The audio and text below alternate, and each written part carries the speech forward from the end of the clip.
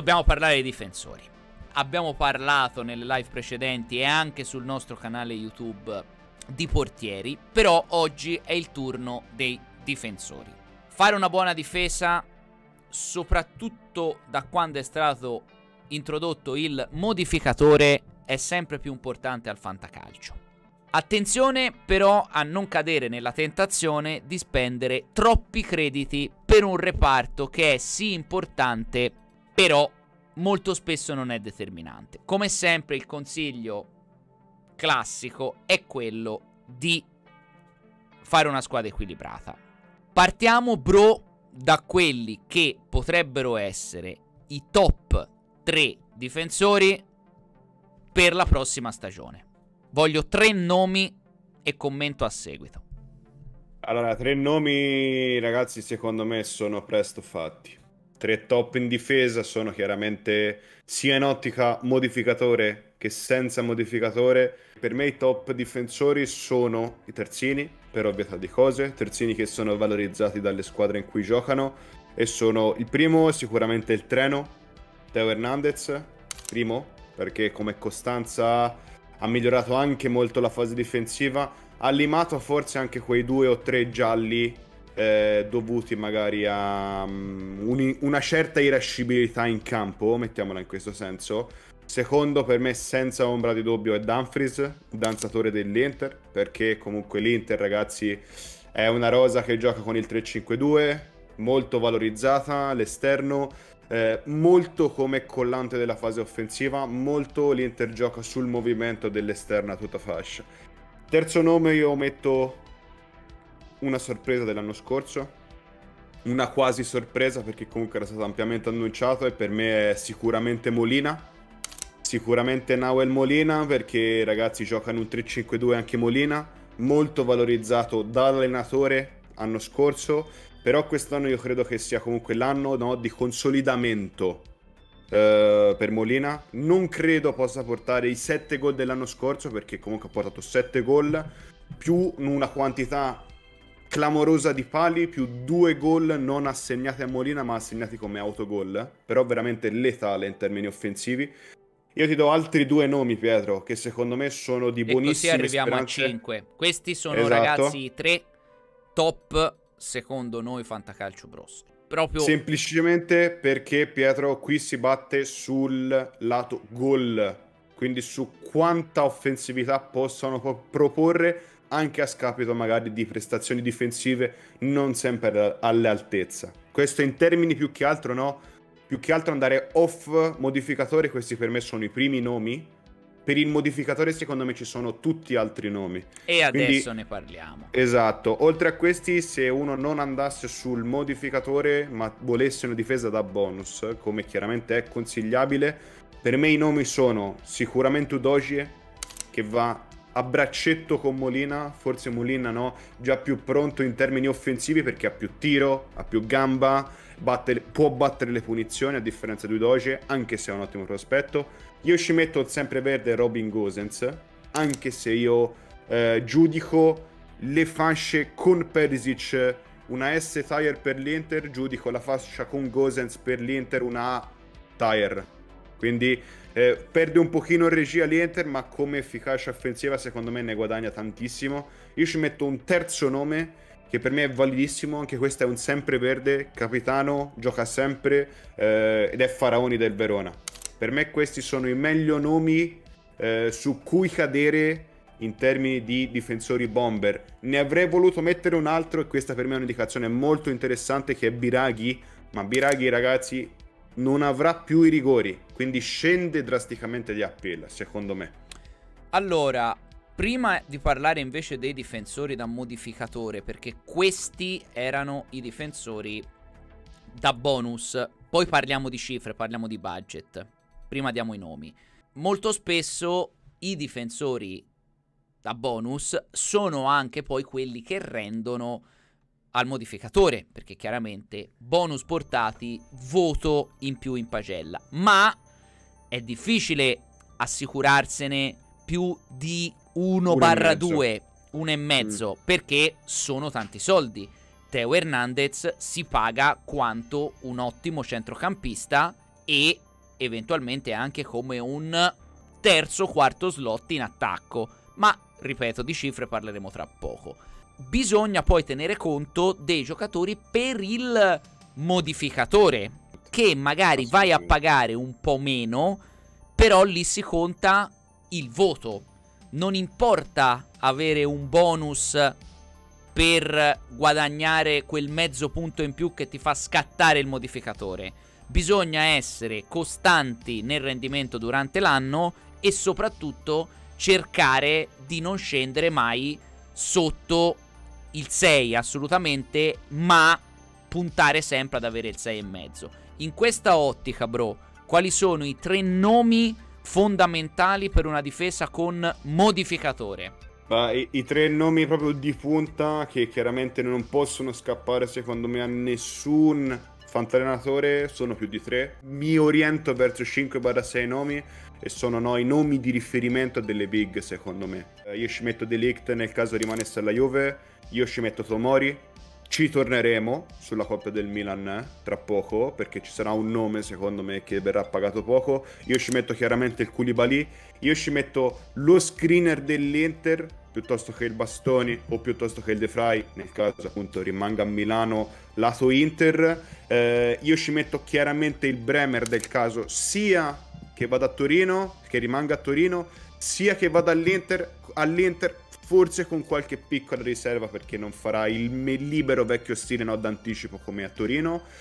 Io ci metto chiaramente comunque questi nomi, io ci metto anche i nomi della Roma, nomi della Roma sono nomi interessanti perché ragazzi, al di là che possano offrire tante volte prestazioni non all'altezza secondo me, soprattutto dal punto di vista difensivo e dal punto di vista di malus in termini di ammunizioni, di espulsioni e quant'altro, è una difesa che funziona perché è una difesa molto rocciosa, eh, alle volte anche abbastanza secondo me funzionale in termini di velocità, ma soprattutto ragazzi picchia tanto e bene di testa. L'abbiamo visto con Mancini due anni fa.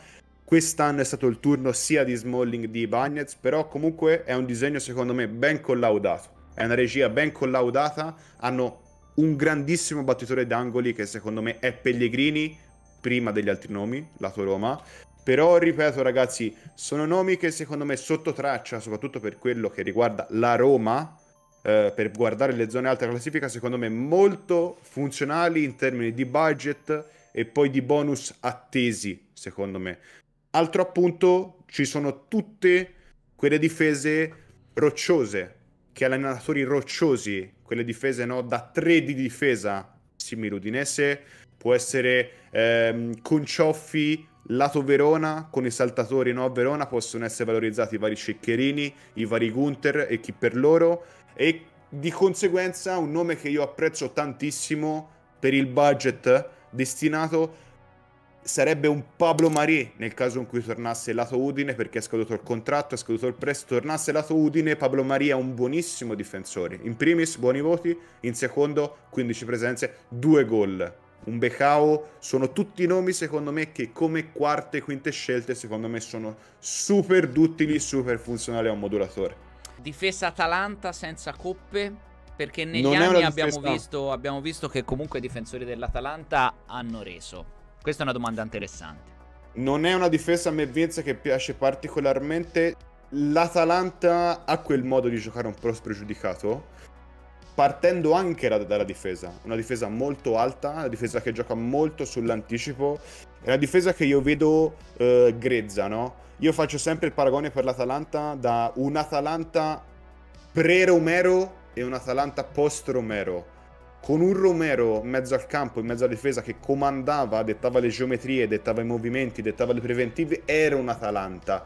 Un Atalanta, secondo me, senza un leader, non a livello di spogliatoio, perché lì c'è Toloi e il palomino della situazione, ma più in campo, quindi di corsa, di tecnica, di anticipo, secondo me manca un po' all'Atalanta e non è una difesa che a me piace particolarmente perché è molto rocciosa e mi sembra che l'Atalanta si stia rivolgendo verso altre soluzioni piuttosto che con i calci piazzati. Io non mi ricordo tanti gol di quest'anno del, della, dell'Atalanta.